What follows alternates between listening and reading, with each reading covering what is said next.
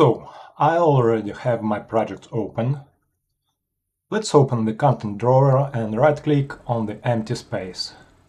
Select the Add Quixel Content option in the menu and the Quixel bridge opens.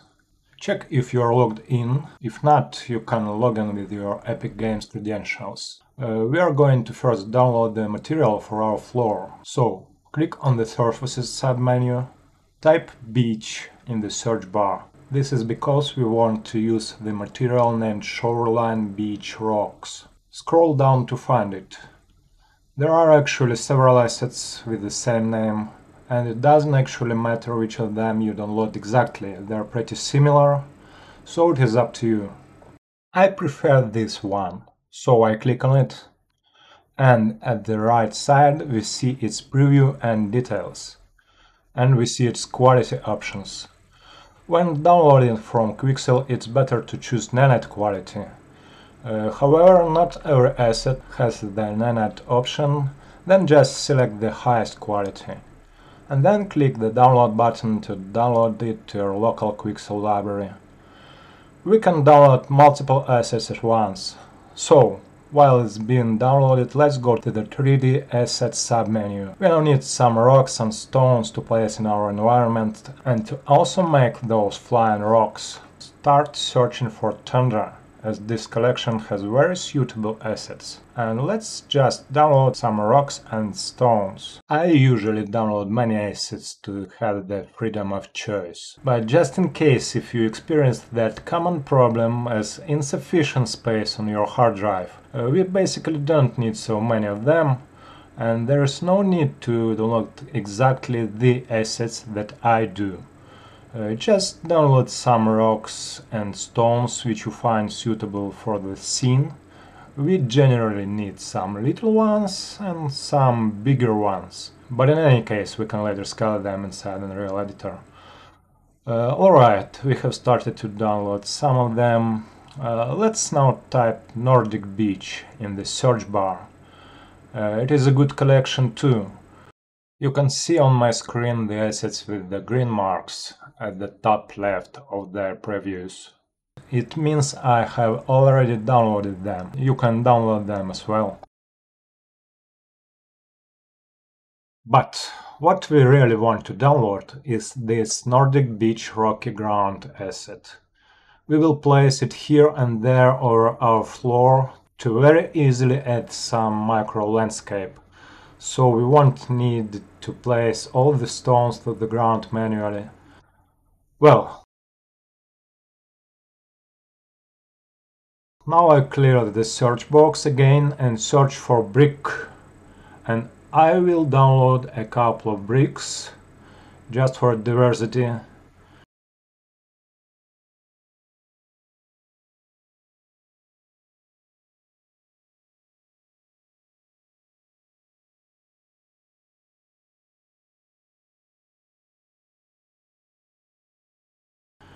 and I also search for pitted. Somebody stop me. And you see this pitted stone. It looks great. It looks great and we want it.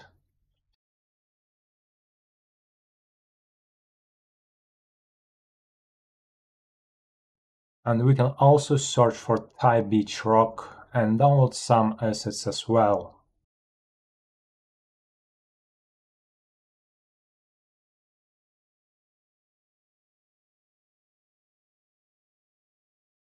So, the assets are being downloaded. We need to wait them all to complete.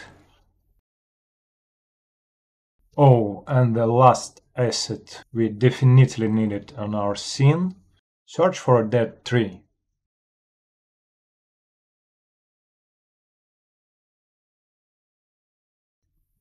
I like this one. Uh, we will place it on the background. So download it as well. And after all of the assets have been downloaded, navigate to the local content folder in the left menu.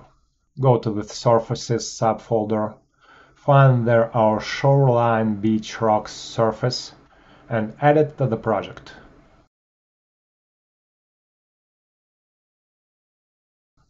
Alright, the editor window pops up and we see that the surface has been imported. Close this window and navigate to the 3D Assets subfolder. And from here we just add the assets which we have just downloaded. You can either add all of them or just some of them. Uh, this Nordic beach rocky ground is great to place on the ground here and there, uh, so you'd better add this. When it comes to single rocks and stones, just add some to be placed on the ground as well, and some to create our cinematic animation.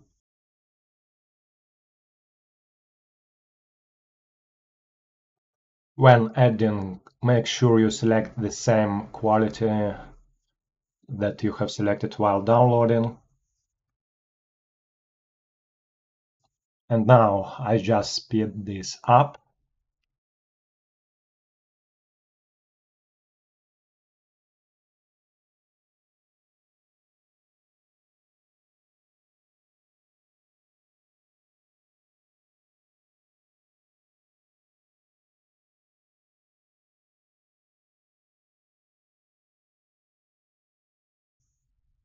And don't forget to import that dead tree. It will look just great on our scene.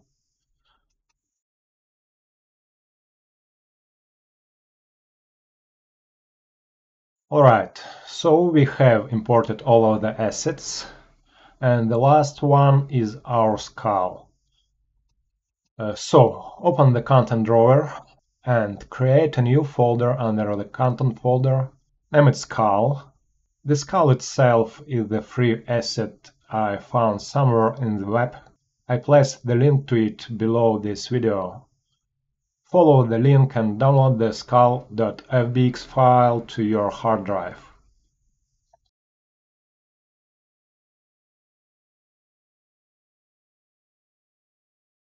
And now we can just drag and drop it to content drawer skull folder the import settings window pops up and we just import it with the default settings.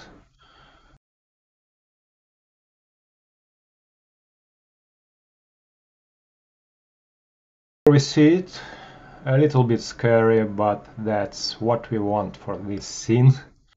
Let's save everything. Now, let's set up the surface for our ground. Open the content drawer and navigate to Content, Megascans, Surfaces and select the material asset. And now we go to the Scene Outliner at the right side of our Unreal editor and select the floor. In its details window below the outliner, find the materials option and click that little arrow to apply the selected material. And here we see it, but let's adjust tiling. Go back to the content drawer and double click our material to edit. And inside the material editor window, in the details tab, expand this tiling option and check the tiling box to be true and set both tiling X and tiling Y to the value of uh, let's say 5. Hit save and close the window. Alright, looks good, but a little bit too much. Let's go back to the material and change both tilings to the value of 3.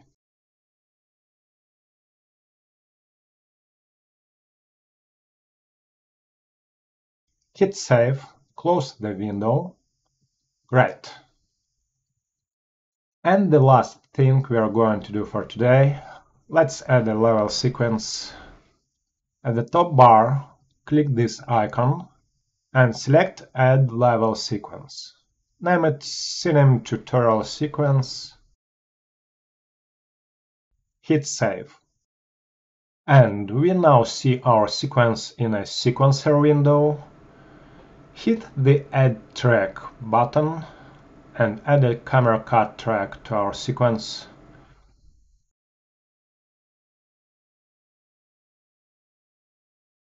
And click the camera icon to add a camera to our sequence. Uh, you see the sequencer contains a timeline and we can add different actors to the sequence and animate it. And we can actually add multiple cameras to our sequence.